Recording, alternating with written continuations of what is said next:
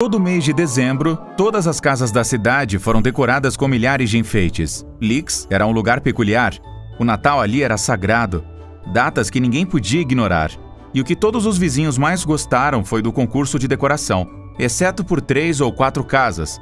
Todos estiveram muito envolvidos, mudando os designs e decorações a cada ano. Naquele ano, havia três novos vizinhos na cidade.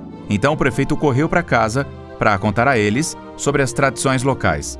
Duas das famílias concordaram de boa vontade em participar do concurso, dizendo que certamente não estariam à altura da tarefa, mas que daria uma chance. A terceira família não abriu a porta nas duas primeiras vezes que o prefeito foi à sua casa.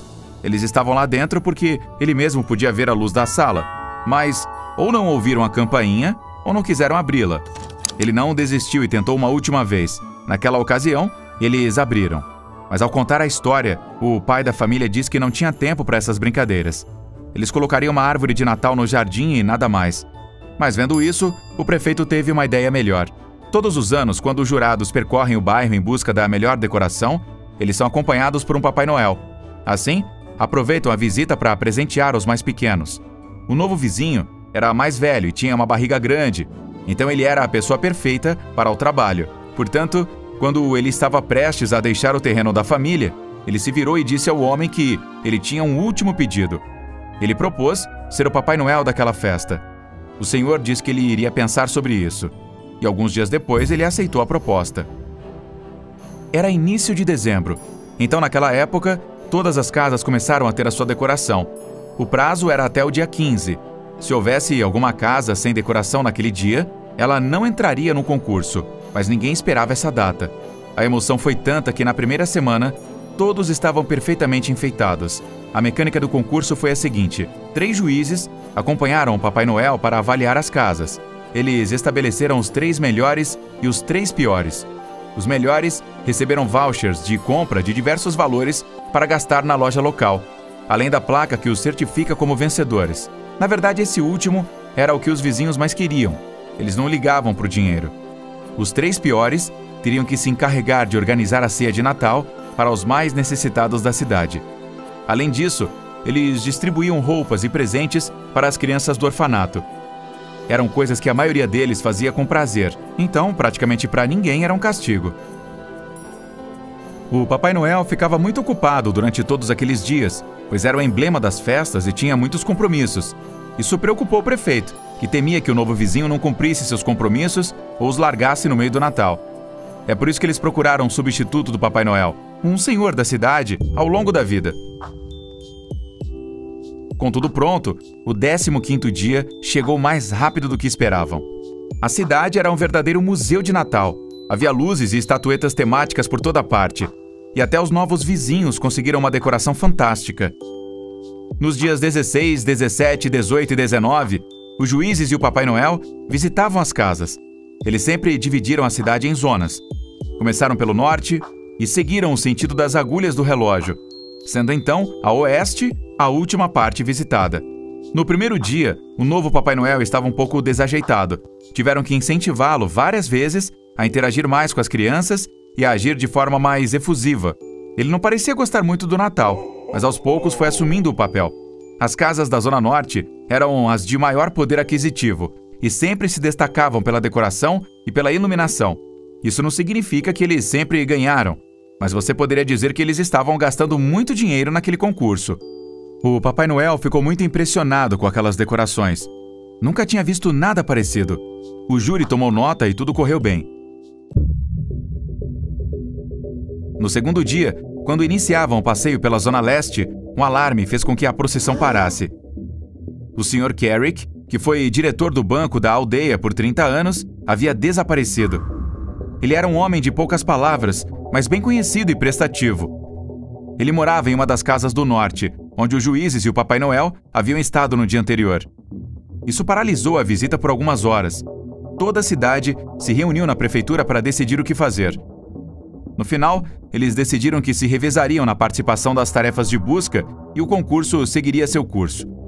Alguns vizinhos se opuseram a esta opção, entenderam que o lógico era que tudo estava paralisado à procura do desaparecido mas a força do Natal e a ilusão das crianças pesaram mais e elas acabaram continuando com a festa. Apesar disso, toda a cidade se voltou para a busca de Lord Carrick. Eles formaram grupos e distribuíram todo o território próximo às casas. Mas nada. Parecia não haver vestígios dele desde que deixara o trabalho no dia anterior. A procissão de competição acelerou o passo no dia 2. Esses caras eram mais austeros, ficavam na parte antiga da cidade, mas isso também deu mais charme porque eram fachadas antigas, mais elegantes. As decorações trouxeram Papai Noel de volta ao passado, que ainda se lembrava de sua infância, algo em que não pensava há muito tempo. No final do dia, o gerente do banco ainda não havia aparecido. Sua família estava muito preocupada. Eles estavam convencidos de que ele nunca iria embora por vontade própria, então eles sabiam que algo ruim havia acontecido com ele. E tudo piorou no segundo dia, quando o boticário sumiu. James era um homem na casa dos 50 anos e muitos anos que dirigia a farmácia da família no centro histórico. Era um negócio para toda a vida, e eles moravam em uma das casas mais antigas da cidade. Ele tinha saído à noite com seu cachorro e não tinha voltado para casa. O cachorro havia voltado para a porta da casa por volta das três da manhã. A esposa do boticário, que adormecera horas antes, deu alarme. Nada parecido com isso jamais havia acontecido.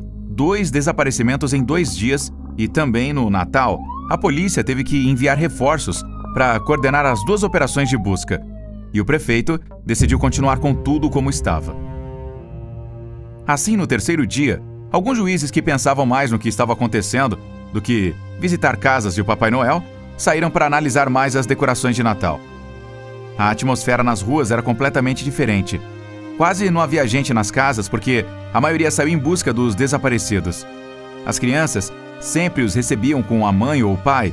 No final, não sabiam da terrível situação que ali se vivia. A Zona 3, a Sul, era a zona mais industrial. Oficinas de automóveis, ferreiros e muitos outros negócios se reuniram ali. As casas costumavam ser de construção relativamente nova e humilde. Aqui, foi impressionante como os empresários, na maioria homens, decoraram suas oficinas. Parecia difícil de acreditar que uma fábrica de ração agrícola pudesse ser fofa e natalina, mas sim, era possível. Terminaram por volta das 8 horas da noite e todos os juízes juntaram-se à procura do banqueiro e do boticário. O Papai Noel disse que não podia porque tinha que ir cuidar de sua esposa. Foi a primeira vez que ele falou dela. Aparentemente, ela tinha problemas psicológicos significativos e precisava de ajuda em tudo. A busca pelos desaparecidos ainda não tinha tido sucesso, e no quarto dia, o pesadelo foi ainda pior. De manhã, a esposa de Carlos, dona de uma oficina mecânica, informou seu desaparecimento. Ele saiu para jogar o lixo fora e não voltou. O terror começou a se espalhar. As pessoas ficaram com medo de sair na rua. Estava claro que algo estranho estava acontecendo. Então o prefeito convocou os vizinhos e o grupo de competição e disse que era melhor suspender tudo. Um grande número de vizinhos concordou. Mas outros disseram que não era justo deixar apenas uma área sem controle. Mas os juízes também não queriam continuar com isso. Eles preferiram ajudar na pesquisa do que continuar analisando as decorações de Natal. Então, o Papai Noel levantou a mão e se ofereceu para fazer o último passeio sozinho. Assim, ele tirava fotos e anotava as decorações, e as crianças daquela área não ficariam sem vê-lo. A maioria achou que era uma boa ideia, eles selecionaram dois funcionários municipais para acompanhá-lo e ele foi para a quarta zona, a oeste. Enquanto isso, a polícia estava tentando descobrir o que estava acontecendo por três dias. Os desaparecimentos foram muito bizarros, e então um deles percebeu uma coisa. Os três desaparecidos pertenciam a três áreas diferentes da cidade. E essas áreas coincidiam com o percurso da comitiva do concurso. Foi então que entrevistaram juízes, que disseram não ter observado nada de anormal durante a visita. Por sua vez, os três tinham álibi porque tinham colaborado na decoração dos espaços sociais. Mas e o Papai Noel? Ninguém sabia nada sobre sua vida. Naquela época, ele estava percorrendo a parte oeste, uma área de novas moradias, onde vivia a maioria dos jovens casais do lugar. Era uma zona de moradias geminadas e onde viviam muitos filhos. Papai Noel teve um trabalho duro e a polícia o seguiu de perto. Quando terminaram, viram como ele entrou em uma casa e, de fato, através do vidro, uma mulher podia ser vista. Ele acariciou seu rosto e a alimentou. Mas em uma hora, as luzes da casa se apagaram. Ele foi para um galpão nos fundos. Ele se certificou de que ninguém o estava seguindo, carregou algo em sua caminhonete e partiu. Ele estava indo para a parte oeste. Uma vez lá, se dirigiu ao parque e desligou o motor. Eles o viram descer, com algo na mão que eles não podiam ver o que era. E de repente algo aconteceu. Um homem estava saindo com seus dois cachorros para passear. E do nada, o homem que fazia o papel do Papai Noel apareceu e enfiou algo em seu pescoço. Naquele momento, a polícia saiu do esconderijo e conseguiu prendê-lo. O que ele carregava na mão era uma seringa. O jovem foi levado para o hospital e o Papai Noel para a delegacia. Ficou claro que ele era o responsável pelos desaparecimentos. Então agora era necessário saber onde essas pessoas estavam. Mas ele não queria desistir. A polícia então o algemou e o levou para casa. Lá, eles encontraram sua esposa, que olhou em volta nervosamente, mas não respondeu a nada que eles perguntavam. A casa estava cheia de fotos de uma menina. Ela era loira e tinha grandes olhos azuis. A mulher ficava olhando para ela, como se tivesse resposta para tudo. E realmente tinha. Esta era a filha deles, Miranda. Ela foi morta por um vizinho quando tinha apenas 10 anos. Então a polícia achou que isso poderia estar relacionado aos desaparecimentos. Eles interrogaram o homem novamente e usaram diretamente sua filha. Isso fez desmaiar completamente. Ele chorou inconsolavelmente e no final acabou se confessando. Ele havia escolhido as vítimas durante as visitas ao concurso. Todos os homens selecionados tinham coisas em comum com o assassino de sua filha. Mas faltava o mais importante: onde eles estavam? Papai Noel confessou que os dois primeiros foram mortos. Isso não foi o pior.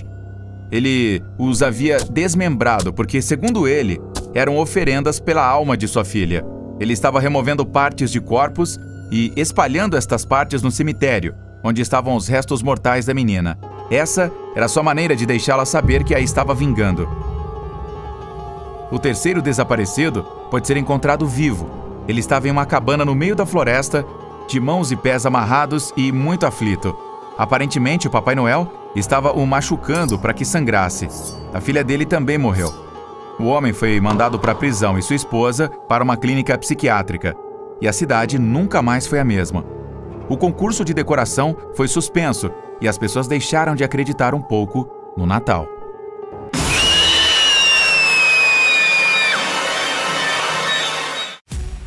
Não se esqueça de se inscrever e deixar seu like se você curtiu. Até o próximo vídeo!